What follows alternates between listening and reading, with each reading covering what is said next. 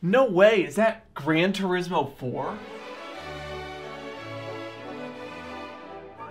It's the Christmas of 2006 in central Ohio, the land of the bleak. 12 months before the world collapses, 6 months before I can play that ball tilt game on my dad's iPhone, and about the same time that my beloved E90 platform is shipping its first unit. Most importantly, my big brother is back from college, and you know, when you're a 9 year old kid, that means more than you think, because he was freaking cool. He still is. He's, he's alive. He listened to Third Eye Blind. He had an unclothed woman as his desktop background. Mom would like totally not approve of that in our good Christian household. Most importantly, he had an original Xbox, or as it was known at the time, an Xbox. And although I didn't know it yet, this is where my love of cars is going to start. You know, where the seed will be planted, like the bomb in CS or that scene in Inception. I was disappointed that you tried. And that bomb was titled Need for Speed Hot Pursuit 2. I don't know if you remember this game, but it's the one that came out eight years before its prequel uh, and then introduced me and many of the rest of the world to unhealthy obsessions that cost money. I'm talking about the yellow Lamborghini Murcielago. If I would have stubbed my toe for a Capri Sun, I'd have sold my soul to Danimals for a piece of this banana colored bad boy. I could feel like a badass by outrunning the law itself. I could feel like Brian O'Conner sailing all 15 pixels of my blue Dodge Viper straight into the guardrail. I didn't say I was good at it. So today I want to show all 100 of you how video games have made me and all the rest of us, you know, love cars and build friendships. And I'm going to do that by looking at two main groups of games.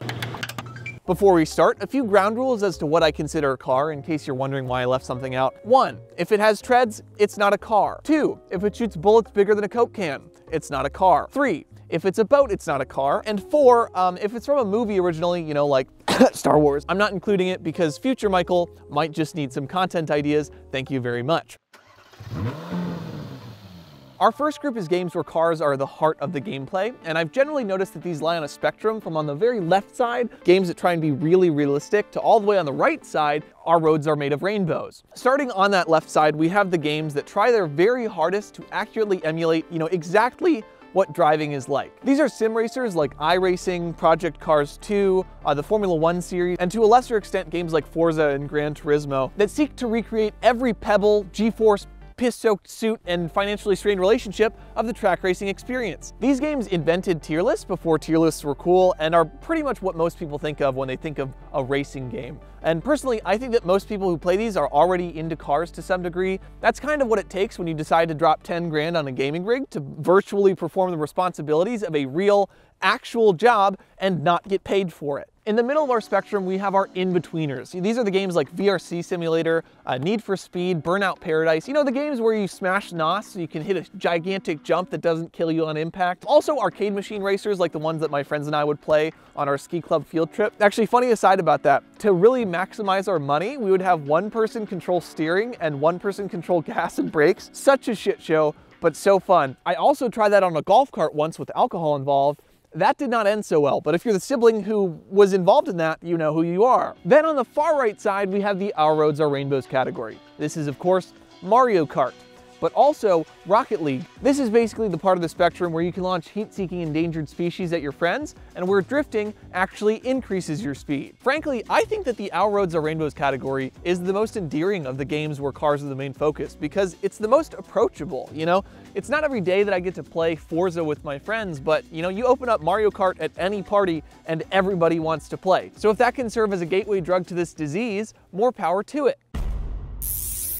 The second grouping we have are games where cars are not the main focus. And to be clear, I'm not talking about games where cars are just some background prop designed to you know, either help you get around faster or literally do nothing at all, like various Minecraft mods, The Last of Us, Fallout, or this Tomb Raider promotion from like 2000 for the Jeep Wrangler. No, I'm talking about games where cars actually do stuff, like Battlefield, Halo, GTA, and uh, Destiny loosely, very loosely on Destiny. And to be honest, I think that these games have arguably done even more for my love of this hobby than uh, any of the dedicated racing games have, because even I, who views railroad tracks as half pipes and who bought exhaust tips off eBay for my car to make the back end look 1% better, still spend most of my time playing first-person shooters, and StarCraft because I enjoy pain. My point is, racing games are only a small niche in a huge field of genres, so as far as impacting the most people, it's the cars here. So let's go down the list. Starting off, we've got GTA. Now, I love Grand Theft Auto, and it's a game where you get to basically do and be whatever the hell you want in a city that is yours for the taking, and naturally, cars serve a purpose. Status, obviously.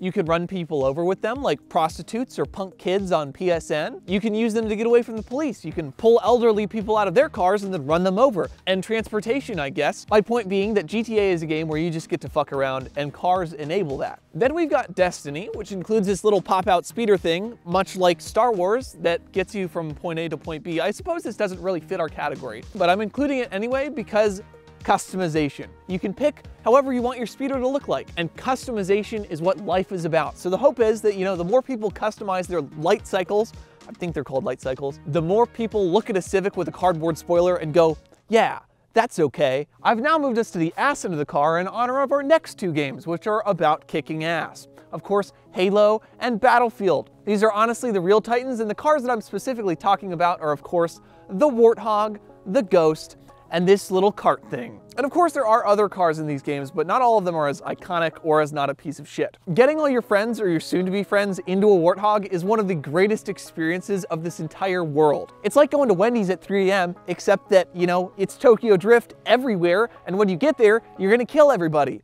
In Battlefield, it's similar but with a twist, right? So what you do is you have one of your recon buddies put their C4 pack on the front, and then you both get in and try and sneak up on a tank, and then you drive as fast as you can into the side of the tank, then you get out at the last second and kamikaze blow it up. High risk, high reward. Not to leave out the Ghost, of course. This is the classic Covenant vehicle in Halo that floats and you can splatter people with it. And it's the vehicle that you get in when you're selfish and you only care about yourself. And you know that these are really good inclusions of vehicles because they have the potential to be as bad as they are good. You know, when someone is in your Warthog and they absolutely suck at driving, shit sucks. Same thing when someone keeps stealing vehicles from spawn or when they take one of the carts and blow up this tower like the soulless bitch that they are. Now to finish up, I have one last car, a very iconic car to show you. Now, technically it's not self-powered, but I, I wanted to include this anyway.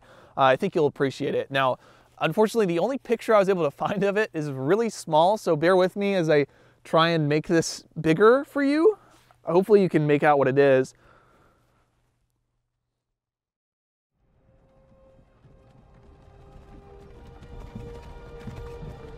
Didn't see it coming, did you? If you like this video, I feel like a flight attendant, I have some complimentary other ones you may just enjoy. For instance, uh, last week I smashed my door with a sledgehammer to see if I could fix it. It's another funny one. I think that if you haven't seen it, you should definitely go watch it.